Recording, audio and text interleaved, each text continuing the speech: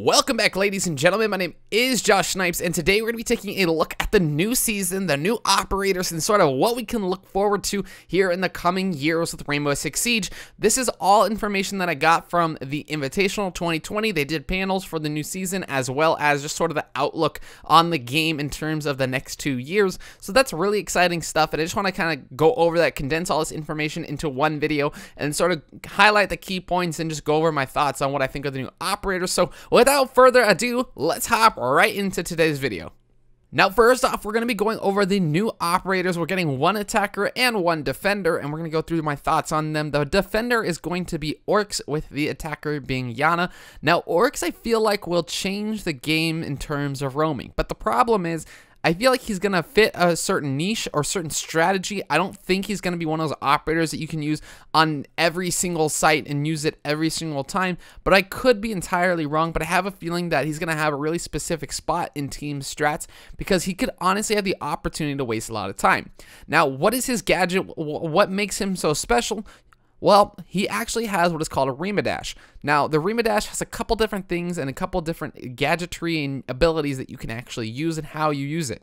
The first one being that I feel like will be really important is you can actually run through hallways faster or run through rooms faster, just sort of getting around a tiny bit faster. He is a 2 armor, 2 speed operator, so he's not the slowest, but this Remah Dash really makes him faster than any 3 speed that is on the market currently. Now, one thing that I like to point out also is this Remah Dash can actually help him go through soft walls.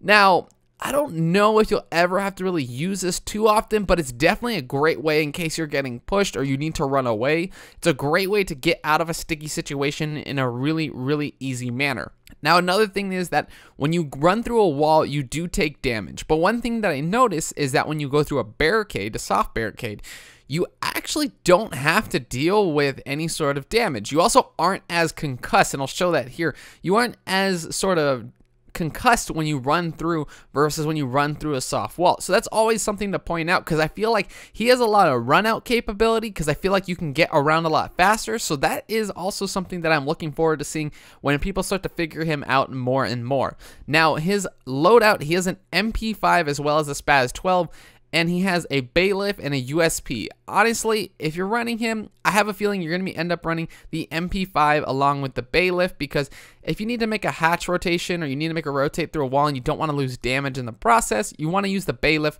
I don't feel like the SPAS 12 is that good of a shotgun in, in general, so I don't feel like it's a good alternate. There might be some weird strat that someone might have with him. You could probably use it, as well as I believe he has barbed wire and bulletproof cameras in his current iteration. It just depends. That usually depends on what your team's trying to run. I would imagine since he's going to be a pretty roam heavy operator, you'd want to use bulletproof, but I could be wrong in the end, especially if they end up changing that out. Also, if you end up getting stuck in a 1v1 with, say, a Monty or a Blitz, or even a Fuse Shield, if those still are run, you can actually knock them down to the ground with Oryx. And that's one of the biggest things I feel like if you get stuck in that 1v1, since you're going to end up being a roamer, you might have to retake site and get stuck in that 1v1, you can actually knock him down as well as anyone else. But it's mostly useful to the shield operators who tend to be a nuisance in that 1v1 situation. Now, another thing that I want to point out is not only can his Remah Dash go through walls and run around a lot faster, you can also jump through hatches. But it's not it's not counted as a Remah Dash ability. It's actually just a way for him to go from the bottom floor up to the top floor. And one of the key things is on maps like you think of Bank. Bank has a lot of verticality in terms of all of the hatches that you can actually go through and what you can move around in the map. So again, this is why I think he's going to be a really good roamer is the fact that if you're getting chased down, let's say you're getting pinched out, you can actually run away and go through a wall, go up a hatch, and then you're gone. You don't need to wait for the Remah Dash ability to regenerate in order to go up a hatch. We haven't had that on the defending side where someone can actually go up a hatch and actually get away that easier. So when you're going to end up roam clearing, you're going to have to do a lot more roam clearing than you were doing before. Now, Iana is one of the key operators that I am looking forward to in the comp scene more than anything. I don't think she's going to be a very good solo queue operator because you're gonna, you don't really need to drone yourself in. That's not how she's really used. But the problem is in solo queue, you tend to have to drone yourself in a lot. But in coordinated teams, she is going to be deadly. Now, basically what her ability is, is you have a hologram. Think of sort of Alibi's hologram, but the only thing is you can actually walk around with it. Now, if you take any damage to the hologram, or if you step into a mute, you get thrown off the hologram. Essentially, your hologram turns off and gets destroyed. But you can't do any damage if someone shoots your hologram. They don't get pinged or anything like that. But it's essentially a walking camera. You can drone yourself ahead. You can drone your teammates ahead and let your teammate refrag. Because the thing is, if you're a defender, you can't tell the difference between them. And that's one of the key things I feel like Iana has is that you can't tell the difference between the actual operator and her hologram. It makes all the same sounds. You can't shoot. You can jump over barricades. You can jump over windows and stuff like that. She doesn't set off any traps. So I feel like that's one of the coolest things about her is the ability to actually just sort of roam ahead and get you're going to end up having someone refrag your hologram as you drone them in quote unquote now one thing is that you cannot see vigil when you're using the hologram so when you're on the hologram and another thing is that there is no limit to the hologram. It does have to regenerate, but if it gets shot, it takes a little bit longer to regenerate than if you just turn it off yourself. So that's always something good to point out if you think your hologram is going to get stuck in a sticky situation, or if that's your intention. Either way, I feel like Iana is going to make such a big difference in the competitive scene where you do so much droning and so much just playing together that I feel like she's going to make a huge difference. Now, she has the choice between an ARX 200 and a G36C. Both guns are really good. I feel like it just depends on your playstyle a little bit. I've been running the G36C and I've been loving it. Now she also has the MK1 9mm. That's going to be the pistol that you normally see on Frost and Buck. And then lastly, her gadget is a smoke grenade and frag grenade. So again, a lot of utility if you think about it. If you think about it, she has two drones and essentially an unlimited drone with her hologram. So my guess is the way that she'll be played is you're going to have two flank drones set up and then you're going to have her ability to be able to sort of drone people in and get some intel that you wouldn't have been able to get either way, especially if it's a drone instead of a hologram because people are going to have to shoot your hologram because they won't know if it's actually her or not. So that's always one thing to point out is that you can't tell the difference at all until you shoot it. Now, just because you guys have seen the operators, let's go over some of the things that we're looking forward to here in year five. Now, we're going to take a quick look at the overview of the season. In the first season, that is going to be this next season, we're going to be getting a Jordan and Netherlands op that is going to be Oryx and Iana, respectively, as well as the Oregon rework. Everything we've pretty much went over, but season two, we're going to be getting a South African and Norwegian operator along with the house rework.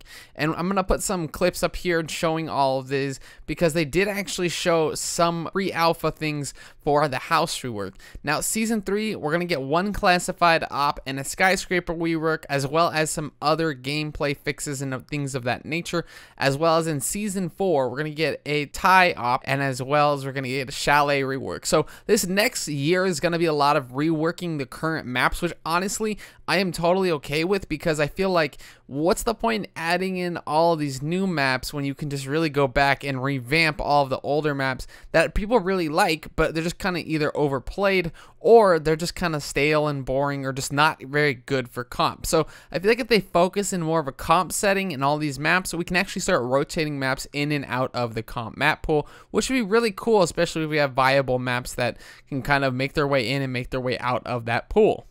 Now, looking over at the gameplay mechanics that we're going to be seeing coming in the year 5, possibly going into the year 6, obviously a lot of this is timeline based. We do have the first thing that I want to talk about, which is you can now ping gadgets. This won't be live with the first season, I believe, but it'll sort of be coming and rolling out within this year, and that's the best part is that you can actually ping specific gadgets now. So whether it's the diffuser going down or bandit batteries or Kapkan traps or anything of that nature, you're actually going to be able to show up on that ping. That way you're not all trying to ping and a yellow ping shows up and everyone's like, I don't know what you're talking about.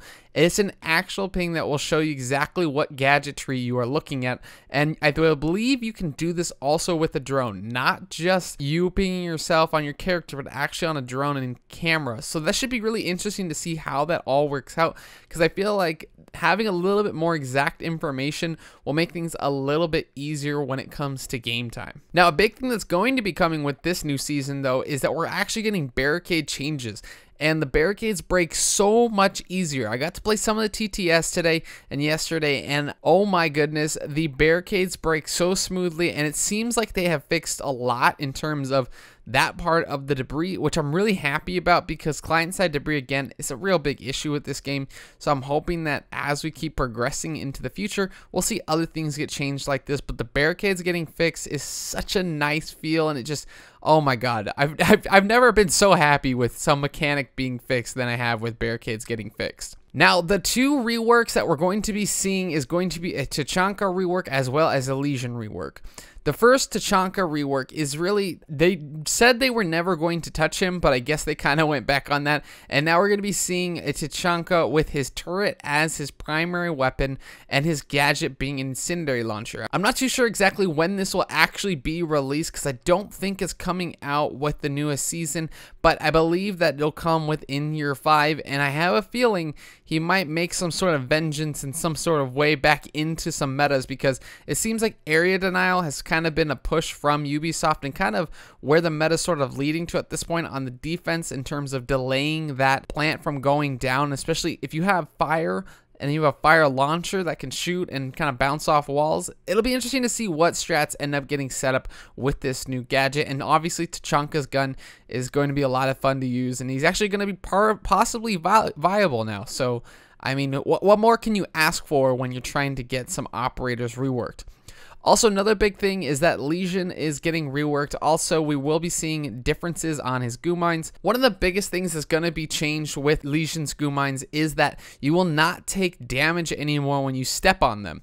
And honestly, getting down by goo mine is the worst feeling ever. And I feel like if you just hear the sound, that should just be enough. And that's really what these gadgets are about. I feel like if, if you can't plant anymore with them, but you just don't take the damage you can't plant, that's a good trade-off. They never really needed to do damage in the first place. It was kind of domino P and didn't make sense, especially since the gadget is invisible. So hopefully this makes a big difference uh, when you're playing against a Lesion. Also, another thing that they are going to be changing is you can't just see Lesion mines from across the map. You need to be within a certain proximity to them so do be wary of that when you are playing him because the caution of leaving your gadgets on the other side of the map, you're not going to know which ones are going off if you can't see them because they sort of fade away as you walk away. Now, another key mechanic that we're going to be getting is a map ban system. Now, this is going to be able to pick between three maps in a ranked playlist. One team bans one map, one team bans the other, and then whichever is left standing, that is what you're going to be playing. So at least you're going to have some choice as to what map you are going to be playing on, which is really exciting because I feel like a lot of players have been pushing for this. Another thing that will be coming here in year 5 is the reputation system. Now I know that they're talking about toward the end of year 5 into year 6 possibly, but having a reputation system and being able to sort of set up games where if you're rated less or you're just very negative person, you're going to get put with a lot of other people who are in that same category, therefore making the games a lot better. And if you're a really good teammate and you do really well and you get a lot of commendations for that, you're obviously going to get stuck with other people who are in the same boat as you are. So it's going to be interesting to see how the reputation system ends up working out and to make sure that, hey, if you just have one bad game, you don't just lose all your reputation all at once, but maybe as you keep progressing, you keep getting better and better and better, and you keep working on yourself, you'll be actually able to move your way up in that reputation system to hopefully get to the top tier. Now, one thing that they did mention is that there are going to be adding some sort of the, those gadgetry, not the unique gadgets, but the equipment that you get when you're playing an attacker or defender. The defender was actually released and they sort of showcased it, at least the pre-alpha version of it, the defenders will be getting a proximity mine, and playing off a sound with a proximity mine, I don't know how useful that's going to really be because I don't know if that's going to be more of a replacement of a certain operator or not. We don't really know how many you're going to get, so I guess that also depends on that too because if you only get one, then it's not really worth that much, but maybe you'll probably get two or three. I would imagine they'll probably start off with three and then probably back it down to two if it's too many. But proximity mines is really huge, especially since the audio isn't the best right now. I feel like having that extra sound cue is going to make all the difference. Plus, it's not going to stun the attacker. It's not going to disorient them in any single way. It's just going to give off their location based on the proximity of that mine, which I really like because that just, you make it a gunplay still, you make it a 1v1, but at least you have some sort of gadgetry to give it off, but you're not concussed as the attacker. Now, the attackers, on the other hand, will be getting, they, they mentioned it, it's going to be some sort of hard breach that you'll be able to open, I believe, one hatch. So my guess is some sort of either breaching charge or something of that nature where you can actually get a hatch open, but I can't imagine that you're going to be able to get a reinforced wall open, but that's kind of TBD. They didn't showcase anything or any pre-alpha stuff for that, so we'll have to see what exactly happens. Now, the last thing that I want to talk about that is so important to me, I, I just, I can't stress this enough how important this is to me. Match replay. We're going to be getting the ability to rewatch a match from anyone's POV and I believe anyone's third person. I don't think we have a free cam yet, but just the ability, just the ability to go back into your matches, watch yourself, watch your teammates, watch your uh, enemies all play against each other and seeing all how that works out man, that's going to be huge, especially for the people who play comp and need to go over VODs. Having the ability to watch it from anyone's perspective is going to be huge when it comes to counter stratting, when it comes to fixing your own strats, because you're no longer trying to piece together a bunch of different point of views, you're actually going to have a good point of view that you can keep switching between now and see where everyone is at a certain time and certain place and where they should be in that certain time and certain place. Anyways, guys, I hope you guys liked this video so much. I, I tried to condense this as much as I possibly could. These panels are pretty long, but I'll leave a link down in the description below if you want to go watch these panels in their entirety. But let me know if you guys have any questions. I'll try to see if I can get them answered. I'm excited for the new season. I'm excited for the new two years that they were talking about. And I hope, I hope, I hope we can continue this journey on the channel, continue this journey with you guys.